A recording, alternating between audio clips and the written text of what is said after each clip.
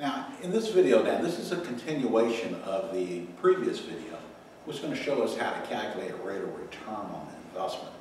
And you'll recall that this is an investment that's $12,000. From that investment, we're going to get $1,905 every year for 10 years. You set up your general equation for annuities. The big dollar amount is $12,000. The value of the annuity 1905. Big dollar amounts at the beginning of the annuity stream, we used PVIFA. N is always equal to the number of payments, number of annuity payments.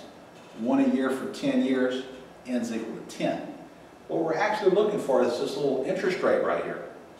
Now, what we did before is we didn't solve for that directly, but we did solve for the interest factor. And if you take 12,000 by divided by 1905, you get 6.2992. And that's your PVIFA with n equal to 10 and i equal to something. And this is what we're looking for.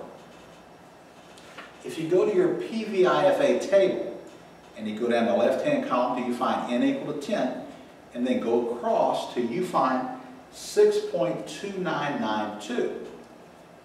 Well, long story short, you're not going to find that interest factor. But it's somewhere between the 9% and the 10% column. And indeed, in the 9% column, we found 6.4117. Now, the question becomes, is the rate of return on this investment exactly 9%? Well, the answer is no, because when we did this math right here, this didn't turn out to be 6.4177. Therefore, the rate of return is not exactly 9%. And if you go to, if you look up your PVIFA at 10 and 10%, you find 6.1446. Is the rate of return on this investment exactly 10%? Again, the answer is no, because when we did the math here, we didn't come up with exactly 6.1446. So the rate of return is not 9% and it's not 10%, but it's somewhere between there. Now, whatever the rate of return is, and we don't know that at this point, we do know that the interest factor associated with it is 6.2992. Now, what you see up at the top up here, this is what I was taught was a, the pitchfork approach to interpolation. My professor was a city guy. He thought pitchforks had three prongs. Here in the country, you really know there are four prongs. I wanted to pass the course, so I just went with it. So there's three prongs on this pitchfork. We know the ends of the prongs. We know the rate of return is somewhere between 9% and 10%. And we know the interest factors associated with 9% and 10%. The unknown is always in the middle. We don't know what the rate of return is at this point. But we do know the interest factor associated with it is 6.2992. Now, what you see up here at the top, that's what I call setting up the pitchfork. And that really turns out to be the most difficult part of this problem. As a student, a couple things you should know.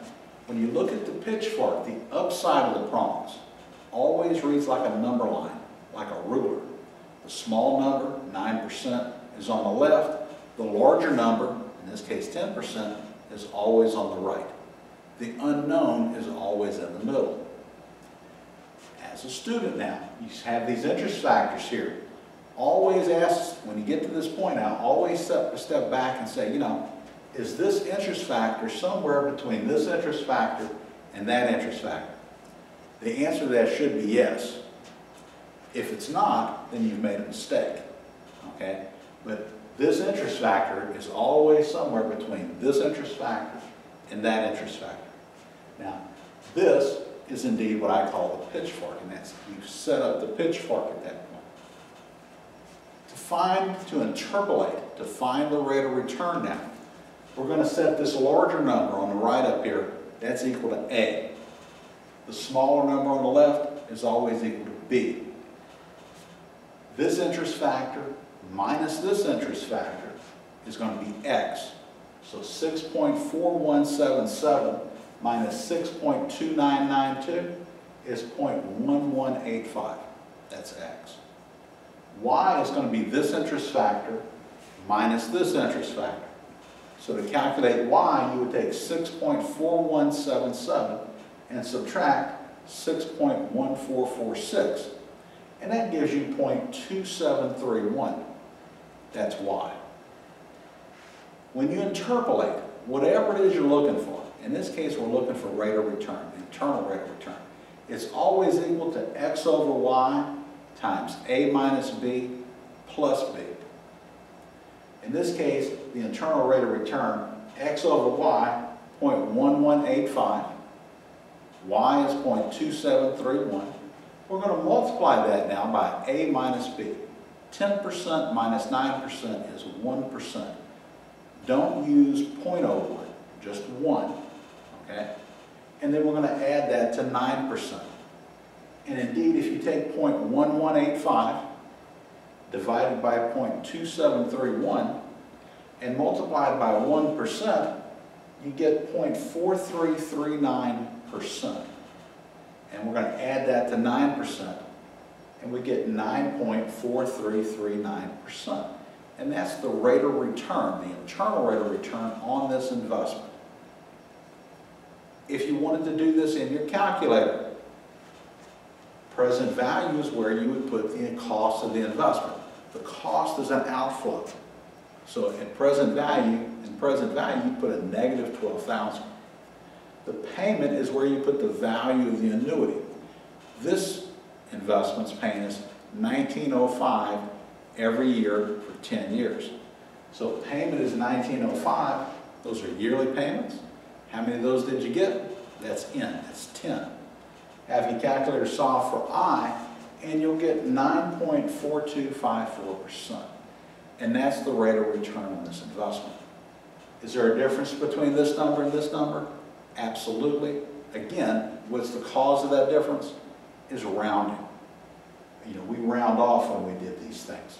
The interest factors are rounded off to four places. All that rounding error gives you this difference here. If you did this in Excel and had Excel calculate your interest factors, had Excel do the math, it doesn't round off. If you did this in Excel, this answer and that answer would be exactly the same. When you're doing reports for bosses or clients, they don't really want to see the buttons you pushed on your calculator. You need to do something that's reproducible, that you can explain, that people can see. That's what this is. But do it in Excel, you'll get exactly the same answer. And again, technically, the calculator answer in, in our examples here is more accurate than what we've done uh, longhand.